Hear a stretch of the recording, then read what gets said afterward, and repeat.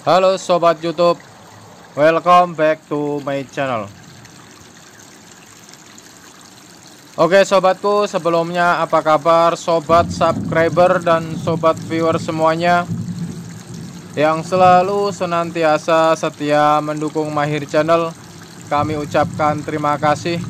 Semoga sobatku semuanya dalam keadaan sehat, bahagia dan selalu sejahtera. Oke sobatku di kesempatan video tutorial kali ini Mahir Channel ingin berbagi video dan tutorial Bagaimana cara menambahkan info pajak pada Google AdSense kita Sehingga pembayaran di YouTube bisa dicairkan Dan agar pembayaran di YouTube tidak ditangguhkan Nah bagaimana caranya? Sebelum kita melanjutkan ke video tutorialnya, alangkah baiknya bagi sobatku semuanya yang baru berkunjung di Mahir Channel, silakan tekan tombol subscribe dan aktifkan notifikasi loncengnya. Oke, terima kasih. Langsung saja kita mulai ke video tutorialnya. Let's go. Oke, pertama-tama kita masuk ke aplikasi atau di browser yaitu Google AdSense.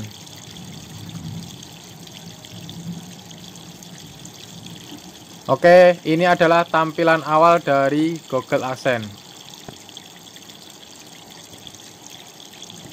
Dan di bagian atas ini ada pemberitahuan, pemberitahuan bahwa Pembayaran dari YouTube Anda ditangguhkan karena ada masalah akun yang harus diperbaiki.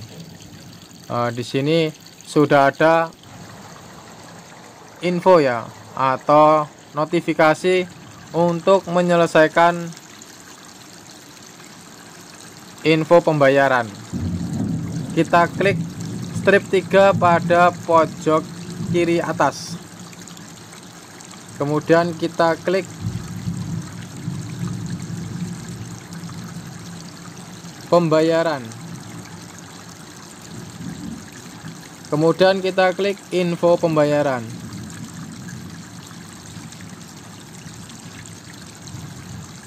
Apabila masih nol seperti ini sobatku semuanya jangan bingung ya. Kita klik yang sini. Kemudian kita ganti ke YouTube Indonesia. Di sini ada AdSense di bawahnya ada YouTube. Kita klik yang YouTube Indonesia rupiah Indonesia. Oke di sini akan muncul nominal yang sudah dihasilkan dari YouTube. Nah di sini pembayarannya masih ditangguhkan karena untuk memastikan pembayaran Anda disertakan di siklus pembayaran berikutnya. Harus harap harap berikan informasi pajak Anda. Proses ini memerlukan waktu beberapa menit. Nah, di sini kita diharuskan untuk memasukkan info pembayaran nah, atau informasi pajak aksen kita. Kemudian kita klik pada notifikasi merah ini kita klik. Kemudian di sini ada ada informasi.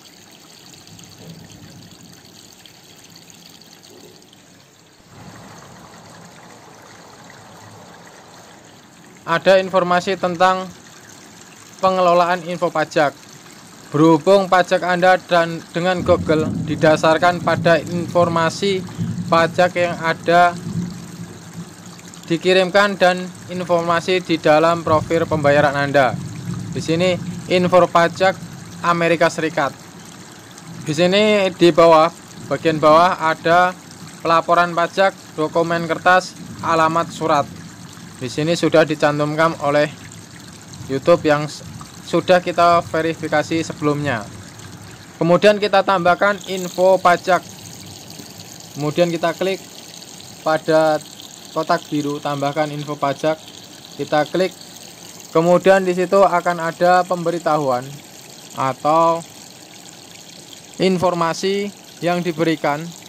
Nah, di sini sobatku semuanya baca saja. Diperkirakan memakan waktu 15-20 menit untuk menjaga agar akun Anda tetap aman kami memerlukan verifikasi bahwa ini memang Anda setelah satu jam anda mungkin harus melakukan verifikasi kembali dan informasi yang telah Anda masukkan tidak akan tersimpan. Gunakan profil pembayaran yang benar untuk menerima pembayaran yang memberikan informasi pajak kepada Google. Formulir pajak akan harus ditandatangani oleh penerima pembayaran atau seseorang yang diberi izin untuk men untuk menandatangani sebagai wakil atau agen penerima pembayaran. Anda mungkin diminta untuk menyerahkan dokumen pajak tambahan setelah menyelesaikan formulir. Kemudian Google tidak dapat memberi Anda saran terkait masalah pajak. Untuk mendapatkan bantuan terkait persoalan pajak, hubungi konsultan pajak Anda. Di sini kita mulai memasukkan pajak mulai formulir pajak kita klik di sini oke setelah kita memasukkan uh, sandi untuk memverifikasi diri pada Gmail kita atau email kita kita masukkan sandi kemudian kita klik berikutnya. Oke kita tunggu sampai keluar. Di sini ada info pajak Amerika Serikat. Kemudian kita klik kita baca terlebih dahulu untuk menemukan formulir pajak yang benar. Harap jawab beberapa pertanyaan terlebih dahulu IRS Otoritas Pajak AS mewajibkan info pajak dilaporkan dalam info A sampai Z atau angka untuk karakter beraksen Gunakan huruf seperti N untuk N atau A untuk A. Kemudian apa jenis akun? Nah, di sini kita klik perorangan. Kemudian kita klik berikutnya. Oke, setelah itu apakah Anda warga negara atau penduduk Amerika Serikat? Kita klik tidak. Kemudian kita klik berikutnya. Kemudian ada pertanyaan lagi. Pilih jenis formulir wajak W strip 8 di sini ada dua pilihan berdasarkan jawaban yang telah dipilih sebelumnya formulir W strip 8 diperlukan lingkaran yang pertama yaitu W strip 8 band Formulir ini paling sering digunakan oleh individu non-AS dan juga akan digunakan untuk mengeklaim manfaat perjanjian pajak. Kemudian yang kedua, W-8 ECI. Formulir ini paling sering digunakan oleh entitas bisnis atau individu non-AS yang memerlukan penghasilan terkait perdagangan atau bisnis AS dan mengajukan laporan pajak penghasilan AS. Kemudian kita pilih yang paling atas di sini. Kemudian kita mulai formulir W-8 band.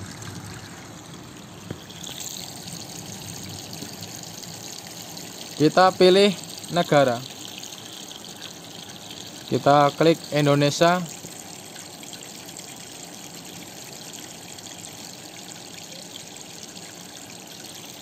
kemudian nomor identitas pajak nomor identitas wajib pajak TIN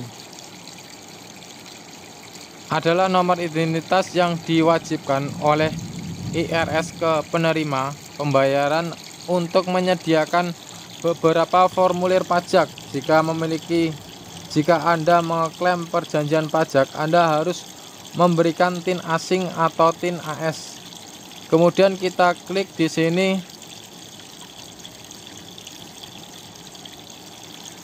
Nomor NPWP kita. Oke setelah nomor identitas pajak su sudah kita isi kemudian kita klik berikutnya Oke kemudian kita menuliskan alamat. Di sini sudah ada kita klik.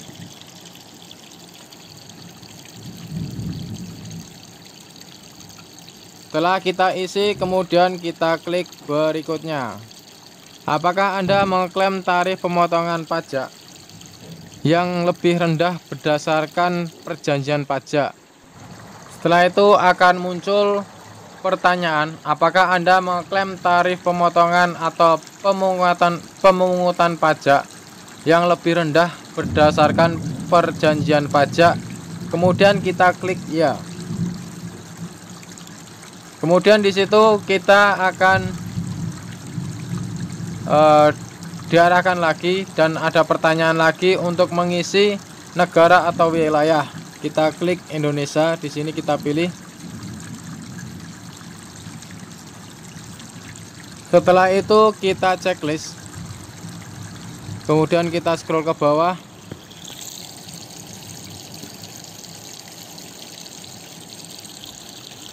Kemudian di layanan seperti ASEN kita checklist Kemudian di situ akan ada pasal dan ayat, kemudian tarif pemotongan. Kemudian kita klik pasalnya. Kemudian kita klik kemud kemudian kita klik tarif pemotongan. Di sini kita pilih yang 0%. Kemudian kita centang di sini sebagai wajib pajak di negara atau wilayah yang disebutkan di bagian identitas pajak individu yang disebutkan di bagian identitas pajak menurut persyaratan wajib, wajib pajak. Tidak memiliki bentuk usaha tetap di Amerika Serikat dan tidak melakukan layanan pribadi yang bersifat independen di Amerika Serikat dari lokasi tetap di Amerika Serikat atau hak atau properti yang menghasilkan pembayar pembayaran royalti tidak terkait secara efektif dengan bentuk usaha tetap atau lokasi tetap. Kemudian yang kedua kita centrang di bagian royalti film dan TV. Kemudian kita pilih pasal dan ayatnya kemudian tarif pemotongan kita pilih yang 10% setelah itu kita checklist kembali kemudian kita pilih royalti hak cipta lainnya. Kita checklist kemudian kita pilih pasalnya. Kemudian kita pilih tarif pemotongan. Kemudian kita klik yang paling kecil 10% Kemudian kita checklist lagi perjanjian.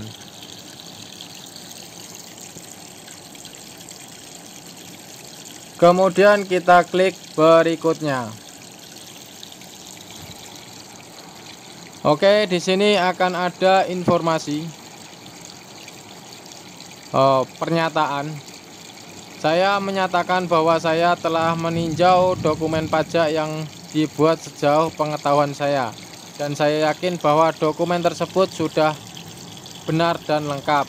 Jika sobatku semuanya di sini sudah yakin dan uh, dalam pengisiannya kita klik atau checklist pernyataan ini. Kita checklist kemudian kita klik berikutnya. Oke, langkah selanjutnya yaitu kita mengisi pada sertifikasi.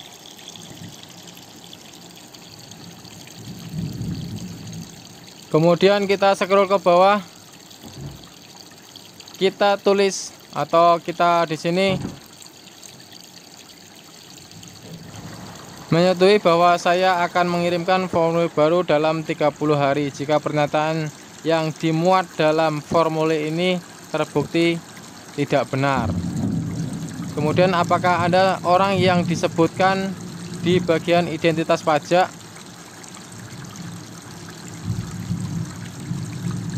yang menandatangani formulir ini. Nama uh, kemudian kita pilih di sini ada dua pilihan yaitu yang pertama ya.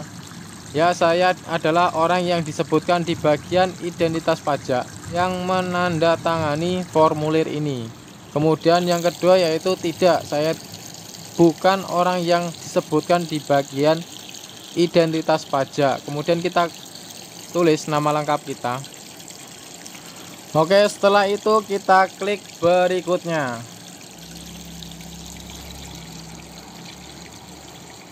Oh, di sini jawaban kita juga kita checklist atau kita klik, kemudian kita klik berikutnya. Kemudian di sini kita akan uh, ada Oke, di poin ke-6 ini kita ada beberapa pertanyaan di sini aktivitas dan layanan dijalankan di AS. Kemudian kita klik tidak.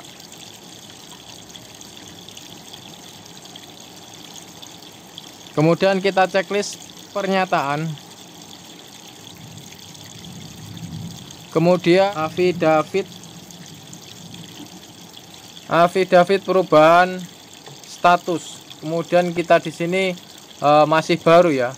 Silahkan dibaca Apakah Anda memberikan informasi pajak untuk profil pembayaran baru atau yang sudah ada yang belum menerima pembayaran atau profil pembayaran yang sudah ada yang sebelumnya menerima pembayaran. Kemudian di situ ada jawaban yang pertama yaitu saya memberikan info pajak untuk profil pembayaran baru atau yang sudah ada yang belum menerima pembayaran. Kemudian yang kedua, saya memberikan info pajak info pajak untuk profil pembayaran yang sudah ada yang sebelumnya menerima pembayaran. Kemudian kini berhubung di sini masih baru, kita klik yang paling atas.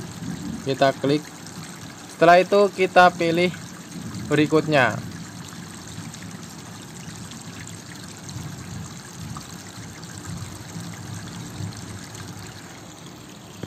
Kemudian pertanyaan atau Kemudian pertanyaan yang ketujuh yaitu pelaporan pajak.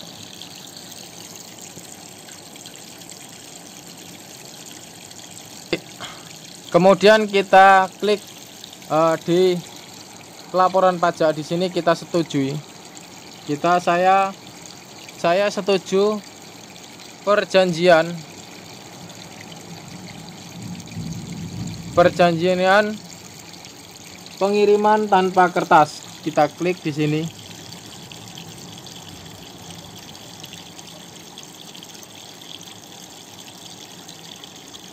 Kita klik di sini. Kemudian kita yang terakhir yaitu kita kirim. Oke kita tunggu hasil dari pelaporan info pajak di Google Adsense kita. E, di sini tidak menunggu waktu yang lama ya Info pajak Amerika Serikat Anda telah diterima. Kemudian formulir yang sudah kita isi tadi sudah disetujui ya. Oh, di sini kita tidak menunggu waktu hingga 20 menit sampai 30 menit. Langsung uh, disetujui. Oke sobatku, seperti itu tadi cara menambahkan info pajak atau menambahkan e, memasukkan nomor NPWP kita di info pajak Amerika Serikat. Dan di sini hasilnya sudah diterima. Semoga video tutorial ini bermanfaat bagi sobatku semuanya. Jangan lupa yang baru berkunjung di Mahir Channel silahkan tekan tombol like subscribe dan aktifkan notifikasi loncengnya agar sobatku semuanya mendapatkan informasi saat Mahir Channel mengupload video-video terbaru. Dan apabila video tutorial ini bermanfaat bagi sobatku semuanya. Silahkan share ke semua media sosial sobatku semuanya. Dan apabila ada pertanyaan tentang video tutorial ini, silahkan tulis di kolom komentar. Sampai jumpa di video tutorial berikutnya. Terima kasih.